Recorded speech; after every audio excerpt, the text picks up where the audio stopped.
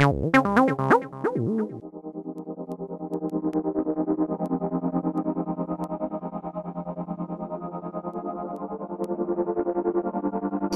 then that'll be a third, because it's only one.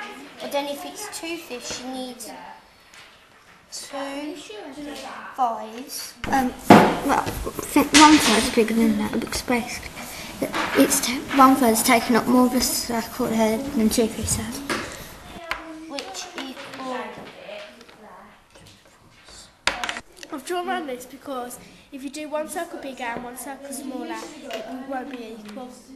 which equal ten. So like that's like two fives and like so like if it was ten, the an- um I think like one third will be bigger because like it's only one like well that's like two so that's gonna be like two circles and like a fifteen each like only one third should be right because like what happens is if you just have the three, the one three, it's just one circle in the three. That's two circles in the fifth.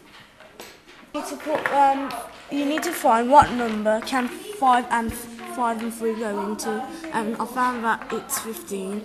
And then I times what whatever five goes into fifteen. You must do the same on the top. So five, f- three times five is fifteen. So two times three is six, and then you do the same with the other one, and you see which one's the highest.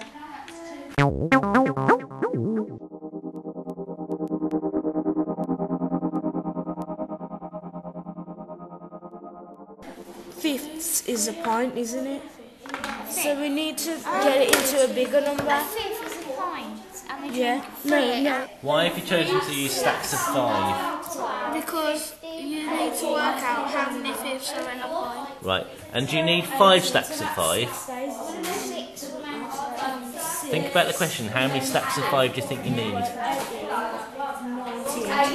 About eight. Um, well, we've made it into like because After like five times four and three times four, and then we got twelve and twenty. But then we're, we're thinking that three might go there instead of twelve. Three um, fifths of a point is junk each day. So one of them is just one point. So if there's three fifths junk each day, you take off three and then it there.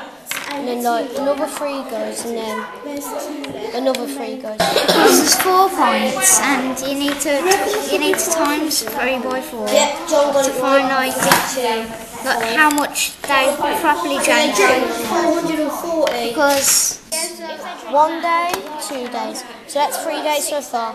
And then that's four. And that's five. Six days it lasts, but then you've got two left. maybe we done it wrong because I feel that we should have kept it as Three. yeah. So four, four. Yeah, because I think we just changed the bottom so it's three twenty. three twenty. Or two fifths of a pint left.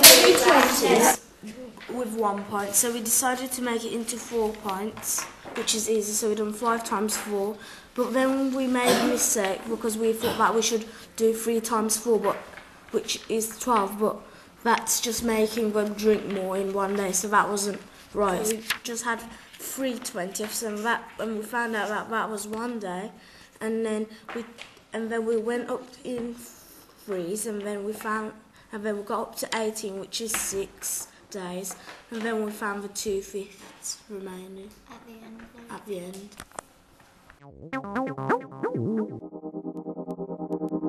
One of these is just one point, and like that, that would be three fifths. So that's one day already. So if you took that's two days, and um, that's then three days. So like so far we've got three days, and we've got about two points left and one fifth.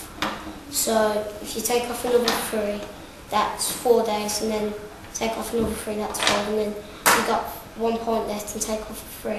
So it's um like this.